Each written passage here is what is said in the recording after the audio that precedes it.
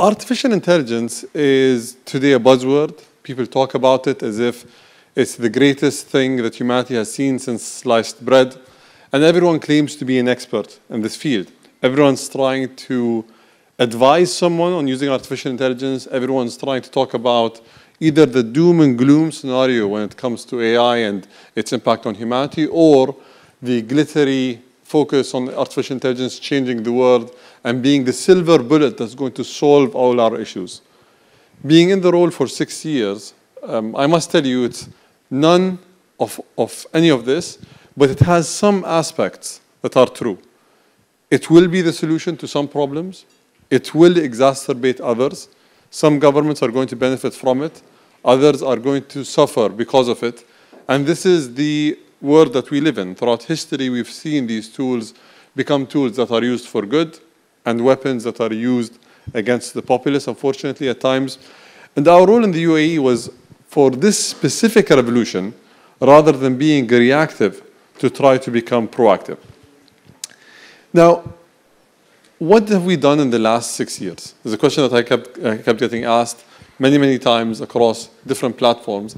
And the answer was the first year that I came into office, I wanted to understand what it meant to be a government that is focusing on artificial intelligence. The first thing we did was we said, let's put the infrastructure. So we've invested in compute, we invested in building talent in the UAE. I'll give you a few examples of things that we did and, and you know, the outcomes of them. The first thing we did was we said, if we want to combat the negative ramifications of using AI, we need to ensure that there is no ignorance within the decision-making process. You guys are talking about infrastructure, you're talking about production, you're talking about AI and its use in certain verticals. If you take a decision to deploy or use or not use artificial intelligence that is driven by ignorance, I can guarantee that you guys are going to be harmed, whether you are from an entity or a consultancy or a government, wherever you may be. If you do not know what that decision is going to entail, what this technology is capable of, and what are the negative and positive ramifications, you are going to lose out because you're using this technology or not using it. So the first year that um, I came into office, we worked on deploying a program with the University of Oxford, where we took senior government officials at the level of executive director and above, and we took them through a one-year course with the University of Oxford where they had to understand what AI ethics are, how to read the code, how to actually build AI systems for purpose, what are good and bad um, use cases of artificial intelligence. And for them to graduate, they need to come and present a project in front of a judging panel of experts from the University of Oxford and be scrutinized until they either pass or fail. Today we have 420 officials across the UAE government, the, the federal government that are our AI army. They are the experts, the advisors, the people that ministers consult with, the people that the leadership consults with to deploy and to work on AI. And that's why you see that the UAE is you know, constantly rising up the ranks when it comes to artificial intelligence and its use and its deployment as well. The other thing we said was we need to ensure that we have research happening in the UAE that is world class. We launched a university that was the first university in the world focused specifically on AI, called the Mohammed bin Zayed University of Artificial Intelligence.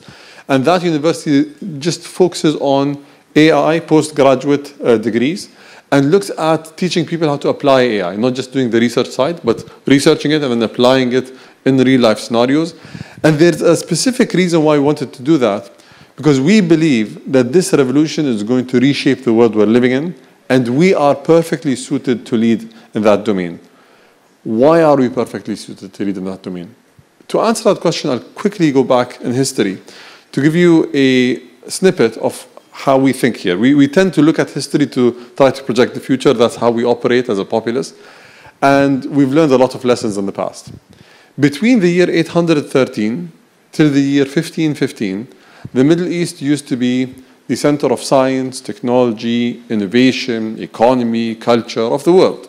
In that time period, Europe was going through the dark ages, we were going through the golden ages.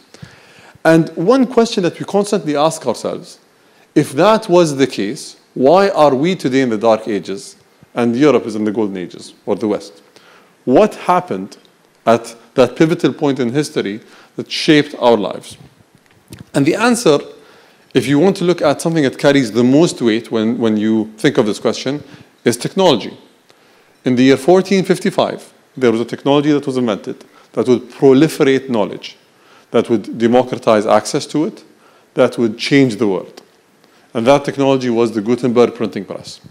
It was embraced by every single civilization on earth except the Arab Muslim civilization that banned it for 200 years. So our forefathers believed that this technology will be a negative one, and they banned it for 400 years.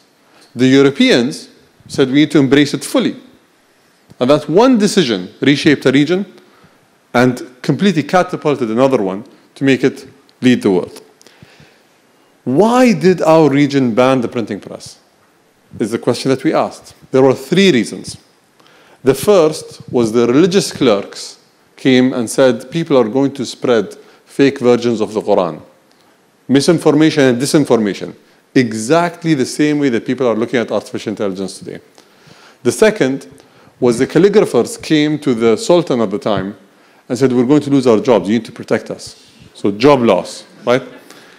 And the third is the advisors came to the leadership as well, and they said, We don't know what this technology is going to do. So instead of jumping at it, let's take the back seat, allow someone else to use it, and then decide if we want to use this technology or not. Exactly what's happening with AI. We are at a juncture in history, the same one that we as a region were in 600 years ago. And I think we do not want to make that mistake again. The UAE is a country that is doubling down on AI, not because we are blinded by the glitter and the promise of AI. We know that there are challenges ahead. But we are not going to be pulled back by those who are going to say that this technology is just going to be a negative one.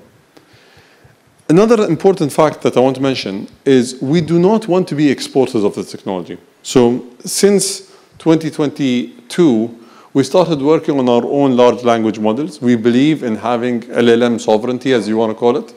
We want to ensure that we are a net, exporter of this technology. And if you see the rankings, depending on the days or the weeks or the months, the UAE either has the most used open source LLM in the world or within the top three. So Falcon was the top uh, six months ago. I think now it's the second most used open source large language model in the world. And we are constantly working on innovating and ensuring that we can be at the cutting edge.